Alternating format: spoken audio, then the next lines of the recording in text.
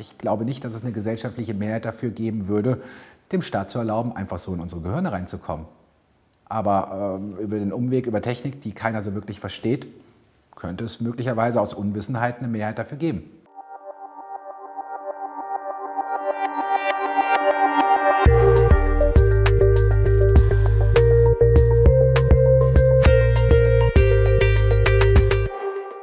Diese Diskrepanz zwischen, wir bewegen uns auf eine Welt zu, wo durch Maßnahmen wie die Vorratsdatenspeicherung auf einmal alles getrackt wird, wo einfach nachvollziehbar ist, wo wir waren und wen wir dabei getroffen haben. In der analogen Welt würde das doch keiner akzeptieren. Da würden selbst unsere Elterngeneration auf die Straße gehen und dagegen demonstrieren, wenn auf einmal klar werden würde, es wird für Wochen gespeichert, wann hat man wen beim Einkaufen getroffen, mit wem hat man beim äh, Kaffeekränzen zusammengesessen. Da wäre allen klar, das geht aber nicht, das wollen wir nicht. In der digitalen Welt lassen wir es zu. Und es gibt noch die anderen Debatten darüber, gerade aktuell über den Staatstrojaner oder Apple versus FBI, wo halt staatliche Sicherheitsbehörden Zugriff haben wollen auf ein Device. Und im Moment reden wir über so ein, so ein Handy, wo ein Chip drauf ist. Aber was ist, wenn wir in fünf oder zehn Jahren diese Chips einfach in Form von Hörgeräten, äh, Herzschrittmachern eingebaut haben? Was ist, wenn unser Gehirn daran angeschlossen wird? Äh, wenn wir auf einmal irgendwie bessere Sehhilfen bekommen mit einem Anschluss? Äh, und wenn quasi diese Regeln die jetzt für dieses Handy gemacht werden, damit man jetzt auf dieses Handy drauf kann, auf einmal dann in zehn Jahren Sicherheitsbehörden ermöglichen, unsere Gehirne reinzugucken. Wollen wir das oder wollen wir das nicht?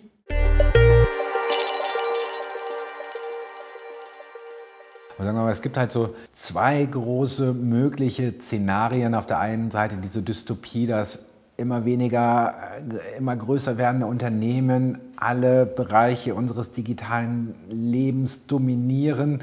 Wir quasi in einer Google- oder Facebook- oder Apple-Welt nur noch total agieren, ohne wirklich die Möglichkeit haben, da rauszukommen, total getrackt zu sein, was auch wiederum zu Symbiosen führen könnte zwischen staatlichen Akteuren und privaten Akteuren. Das heißt, wir leben dann in einer total überwachten Welt, wo wir einfach nicht mehr souverän sind, wo wir eigentlich nur noch als Konsumenten agieren, aber nicht mehr als freie Bürger. Ich hoffe, dass wir diese Welt nicht bekommen werden. Ich hoffe, dass wir eine andere Welt haben werden, wo Kommunikation weiterhin dezentral und offen stattfinden kann, wo jeder eigentlich die Möglichkeiten hat, selbstbestimmt quasi an einem gesellschaftlichen Leben teilhaben zu können, wo Innovationen ermöglicht werden, wo Wissen jedem frei zur Verfügung steht, wo eigentlich ja unsere demokratischen Werte quasi auch in der digitalen Gesellschaft so durchgesetzt sind und so geschützt werden, wie wir es im analogen Leben erwarten würden und auch erwarten. Also in den 90er Jahren hatten wir die Utopie, dass das Netz zu Dezentralität, Offenheit und Gleichheit führt. Und die meisten haben unterschätzt, dass diese Netzwerkeffekte, die wir so toll fanden, zu einer krassen Monopolisierung führen können. Vor allen Dingen äh, durch die Verbindung mit einem sehr liberalisierten Kapitalismus, wo es um massiv Geld geht.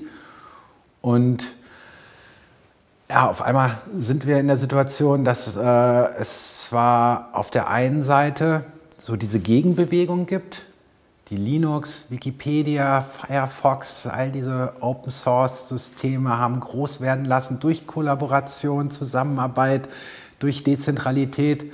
Auf der anderen Seite haben wir riesige Konzerne, ähm, die massiv unsere Kommunikation als Gesellschaften dominieren, die Regeln auch immer mehr selbst festlegen, wie wir darüber kommunizieren.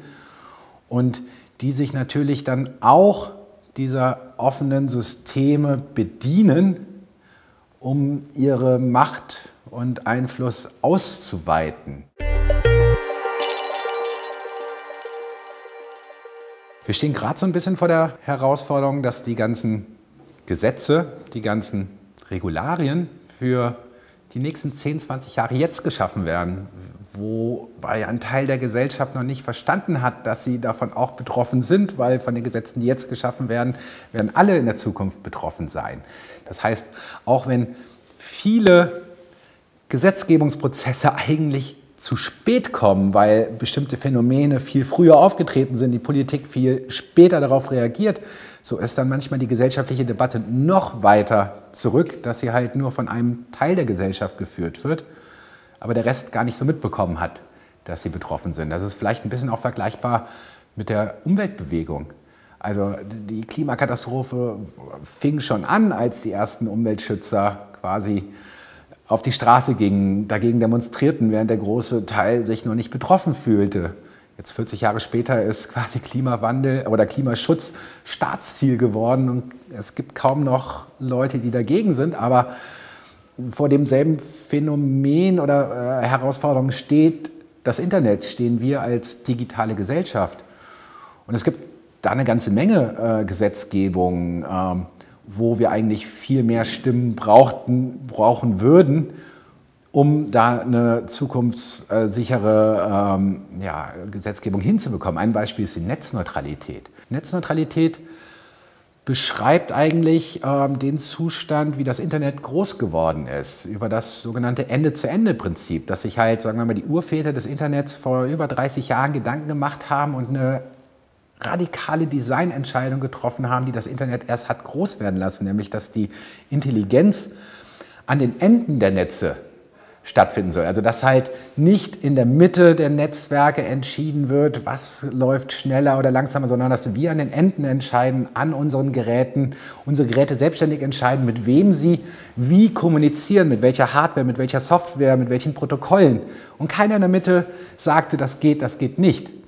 Und auf einmal gibt es aber Technologien und eine zunehmende Konzentration auf dem Telekommunikationsmarkt, die Begehrlichkeiten bei Telekommunikationsanbietern wecken, dass sie nämlich auf einmal an den zentralen Knotenpunkten in eine neue Machtposition kommen, entscheiden zu können. Das geht schneller, das geht langsamer. Hier können wir Mautgebühren äh, oder Mautstationen errichten. Und das geht zu Lasten dieses Netzes. Also was ich beim Forschungsgipfel versuche rüberzubringen ist, Innovation funktioniert nicht mehr so wie früher. Innovation, vor allem digitale Innovation, kann bei mir zu Hause im Wohnzimmer passieren. Ähm, Innovation kann dadurch passieren, dass sich Menschen mit Leidenschaft, ohne eine, eine Geldmotivation, äh, aus Spiel und Spaß übers Internet verbinden um etwas Neues zu schaffen, einfach aus reiner Neugierde.